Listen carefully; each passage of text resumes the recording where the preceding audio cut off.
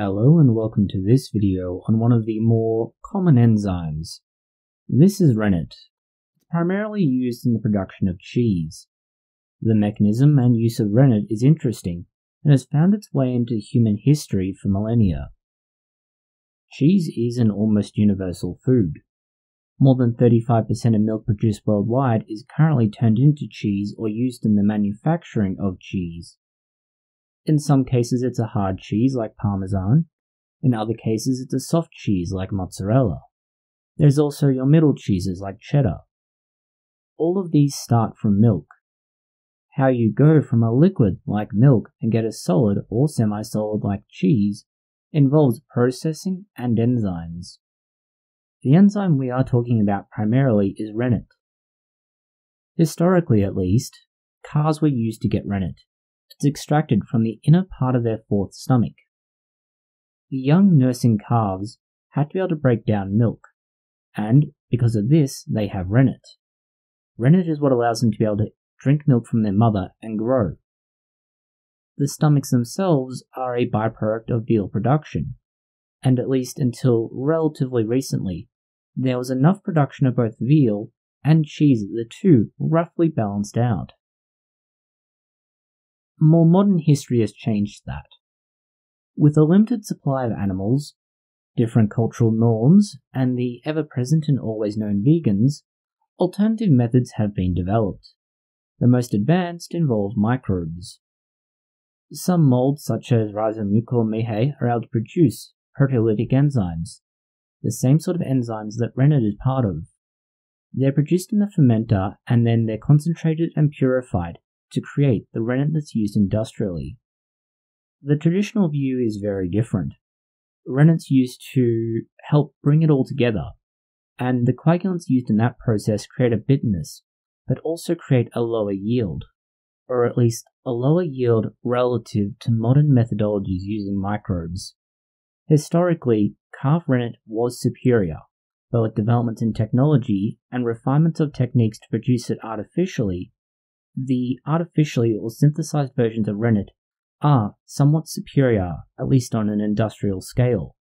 We've touched on just what rennet is, that is, rennet is a protease. Proteases are part of the enzyme family that will catalyze or break down protein from larger proteins into smaller ones or individual amino acids. This is what causes milk to curdle or form into clots. The breakdown of larger proteins causes the structure to begin to be disrupted, and it all comes together in a mess. Different rennets are available, and different cheesemakers will choose what they want based on their preferences. Overall, though, the differences are not as important as what it does. It changes the way it clots, and that's specifically because of its proteolytic activity. Different rennets will hydrolyze or break down casein to greater or lesser degrees, this is what leads to greater or lesser yields from the milk. The more proteolytic activity you have, the more you're going to get curdling.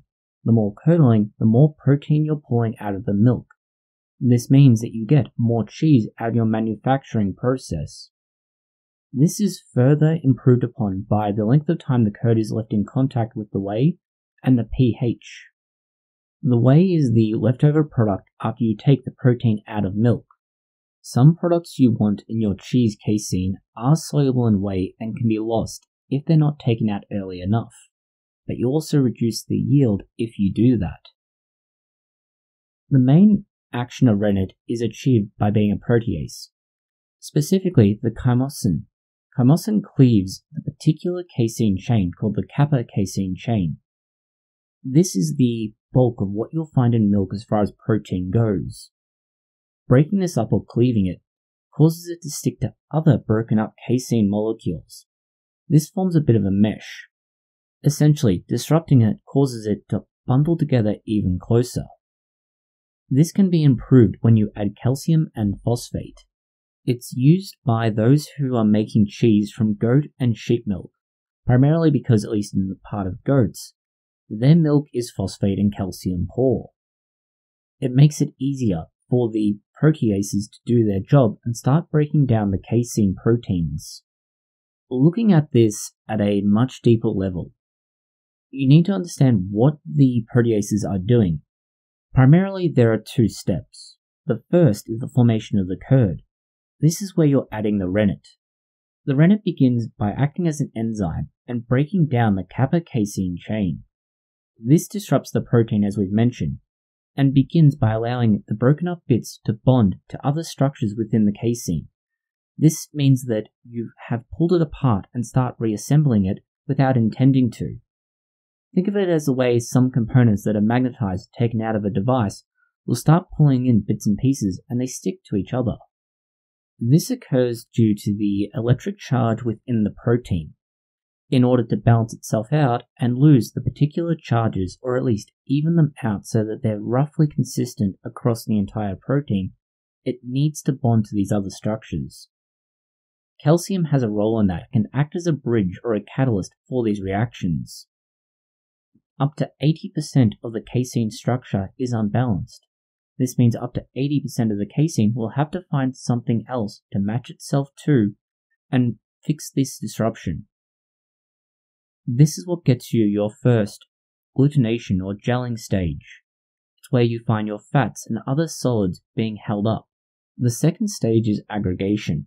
Aggregation is where you start separating out your curds and wheys. It's where the casein structures all come together, and that is what happens over time. But in order for that to happen, you have to make sure that you keep it below 65 degrees centigrade.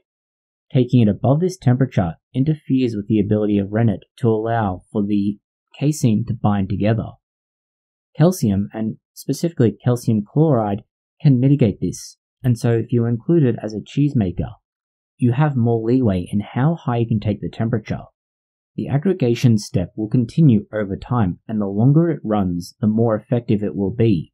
Of course, eventually it does run out of casein to gel with.